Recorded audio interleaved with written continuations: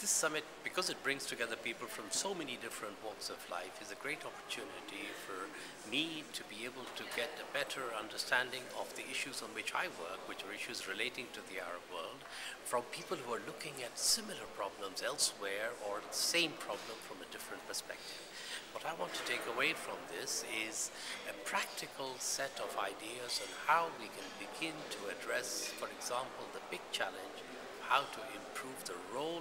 private sector in contributing to employment and job creation and growth in the Arab world.